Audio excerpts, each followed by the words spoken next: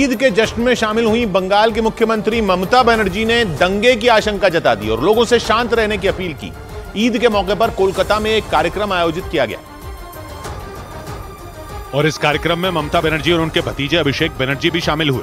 मंच पर मौजूद ममता कुछ देर तक एक छोटे बच्चे को गोद में लेकर भी खड़ी रहीं। इससे पहले उन्होंने लोगों को संबोधित किया और दंगे की आशंका जताते हुए लोगों से शांत रहने की अपील कर डाली।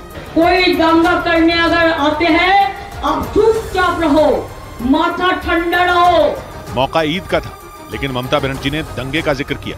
यही नहीं उन्होंने वहाँ मौजूद लोगों को सावधान करते हुए एनआईए पर भी निशाना साधा। एक चॉकलेट बम भी बम फटते हैं एनआईए को भेज देता है। सबको अरेस्ट कर दो। सबको अरेस्ट करते करते तुम्हारा देश ही सुनना हो जाएगा। लोकसभा चुनाव से पहले दंगे से जुड़ा ममता का ये कोई पहला बयान नहीं है।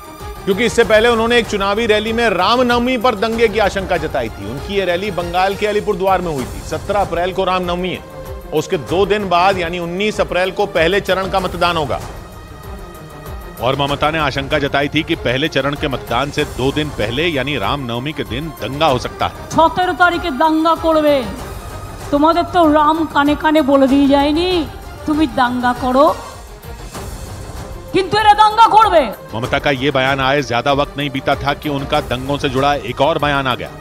बीजेपी ने ममता के इस तरह के बयानों को चुनाव में हार का डर माना और दावा किया कि इस बार बंगाल के नतीजे हैरान कर देंगे। मैं ईद के दिन कोई राजनीतिक बात नहीं करूँगा लेकिन बंगाल के नतीजे चौंकाने वाले होंगे और पिछले साल बंगाल के कुछ इलाकों में रामनवमी पर दंगे हो गए थे। बंगाल सुलग उठा था। रामनवमी से पहले ममता बार बार उसी ओर इशारा कर रही है और दंगों की आशंका जता रही है। इधर यूपी